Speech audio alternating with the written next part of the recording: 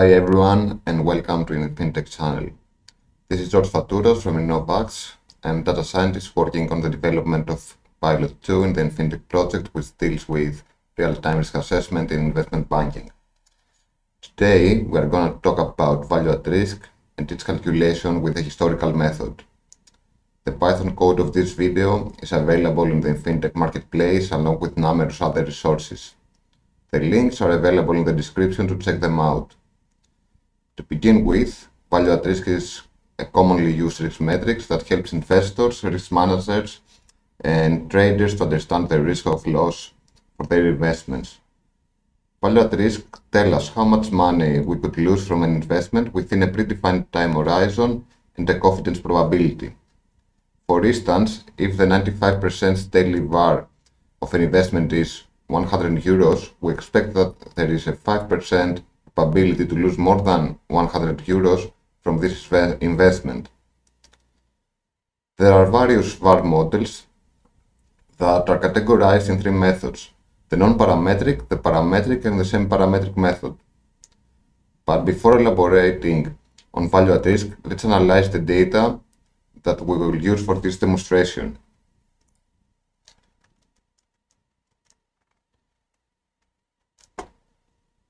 Um, we use the Pandas Data Reader library to download uh, financial historical data from Yahoo Finance and load them to a data frame.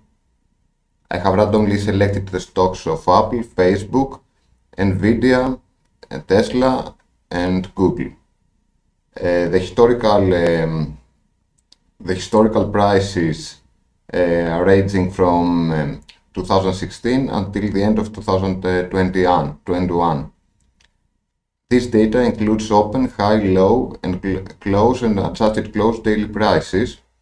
Uh, however, from those data, we rely only on the adjusted uh, close price, uh, which is often used when we're examining historical stock returns. Firstly, we will plot the daily prices to get an idea of the data. However, this plot is quite misleading in understanding the performance of each stock because Google's market price is much higher than the other stocks. To alleviate this issue, we scale our data to log prices. As we can see from the log prices plot, um, the Google and Facebook stock uh, has similar performance while Nvidia and Tesla stocks um, had a higher growth than the others. However, in order to um, perform analysis on time series data, those data should be stationary. A stationary time series has constant properties over time. Therefore, time series with trends or with seasonality are not stationary. Here we can observe that all the time series have an upward trend. The most common technique uh, for making a time series stationary, or at least close to stationary, is to choose its rate of change from the one time step to the next. So instead of analyzing the prices, we will transform them uh, in terms of daily returns.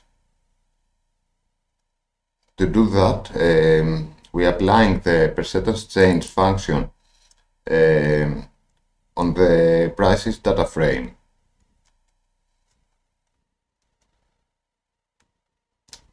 As you can see from the plot of returns, after the transformation, the upward trend in the time series was eliminated and now they are moving around zero.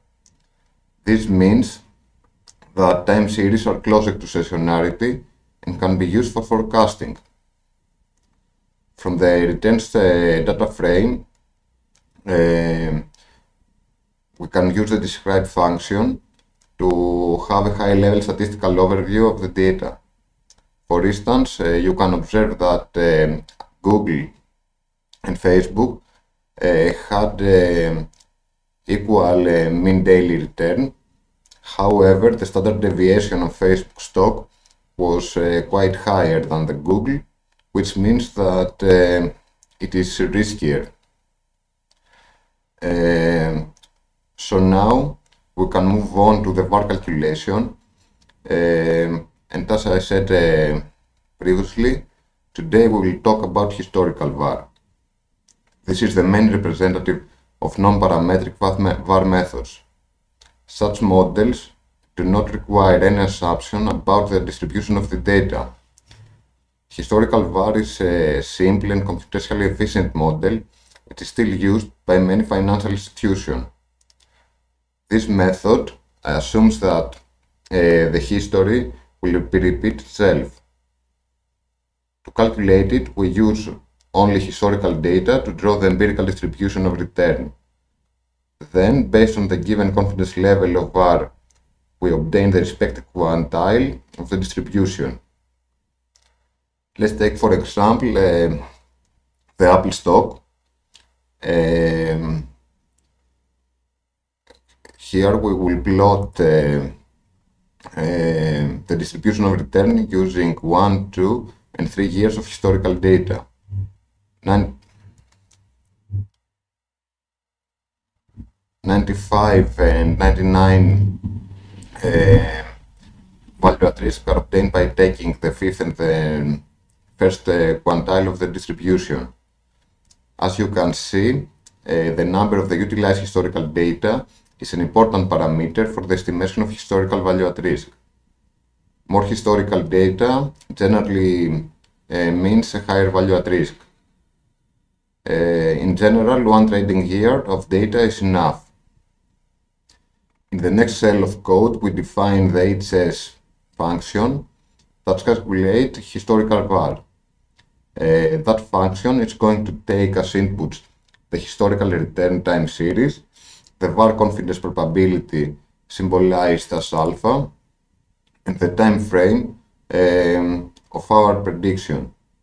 The default um, value calculating the daily var. The result will be the historical value returns, uh, the historical value at risk in returns uh, terms. In case that you want to calculate value at risk for a different time horizon, there is also option for monthly, quarterly, and annual value at risk. In general, if we assume that the returns of an asset are normal, the daily value at risk can be extended to a different time horizon by multiplying the value at risk, uh, the daily value at risk, with the square root uh, of the time horizon. Um, you could try to extend this function to support weekly value at risk, uh, but keep in mind that the financial week has uh, five days instead of seven.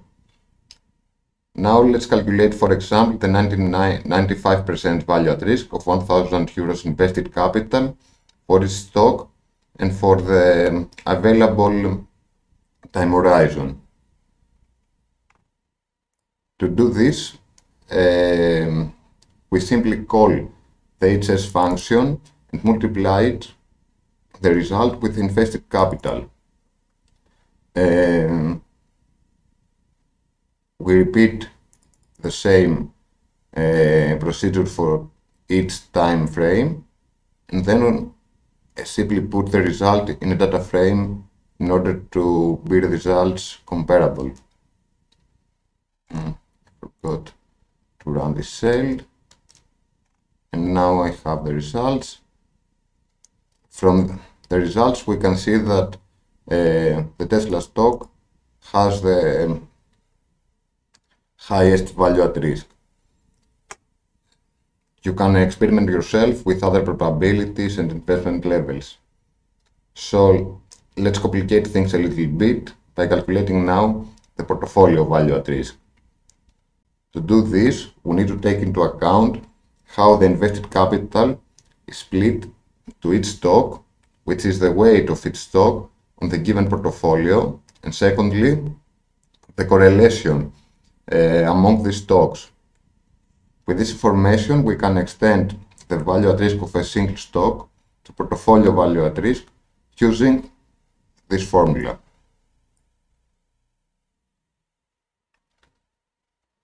So based on that and the HS function that we have defined earlier, we can calculate the historical VAR of portfolio. To this end, um, I defined the portfolio VAR function that in addition to the input of the simpler HS function, it also takes the weights of the given portfolio. It is noted that the input weights should, should have same length as the stock as the stocks of the portfolio and their sum must be equal to 1. In this line of code, we calculate the weighted VAR for each asset, for each asset by multiplying the result of the historical VAR of each stock with the corresponding weight. Next, we calculate the covariance matrix of the input time series using the core function provided by the pandas. And finally, we implement here this formula and we can and and so we get the portfolio var. Note that that um, symbol can be used um, in Python for multiplying NumPy, NumPy arrays. So let's test this function with a simple example. We will calculate the 95% historical VAR of 1000 investments in a balanced portfolio. Firstly, we define the required input parameters the invested capital, the probability of our prediction, and the weights of the um, on each stock. Here we simply put 200 euros in each stock. So the weight of each stock is uh, 0.2. Uh, in the following lines of code, we repeat our calculation for different time horizon and then we put the result in the um, already defined data frame. The results imply that we can be 95% sure that uh, our portfolio will not lose more than 26 um, dot uh, and 30 cents in a day. Feel, feel free to play with different weights and see how value at risk varies. You could also try to download different stocks for experimentation. So thank you very much for listening. I hope you, you learned a lot. And if you really, really like the video, hit the like button. Uh, and please subscribe to the INFINITECH channel. In the next video, we will calculate value at risk with a parametric model. Stay tuned.